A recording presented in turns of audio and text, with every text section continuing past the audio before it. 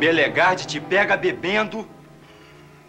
Desde que você e Dona Lilinha não falem nada.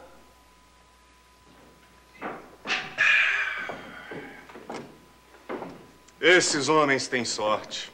Vão à festa de inauguração da chácara do Jatobá. Hum, tudo perfumado de banho tomado. Nunca vi gente tão limpa. É que Dona Beija só gosta de gente limpa. Seu Belegarde me explicou. Ô, Dona Lilinha, me serve mais uma aqui. Hoje a noite vai ser cumprida. Tem um garimpeiro preso com ferimento no pé que vai gritar a noite inteira. Eu, na delegacia, ouvindo o grito de preso, enquanto seu Belegade está na festança. E ainda diz que vai ser o escolhido. Ele acha isso mesmo? Mas tem certeza. Diz que Dona Beija vai fazer isso em pagamento à dívida que tem com ele. Só sei que estou muito satisfeito, não é, dona Lilinha? É movimento assim eu nunca vi. Movimento vai ter hoje à noite na chácara. Ara viva Nossa Senhora, que se eu pudesse.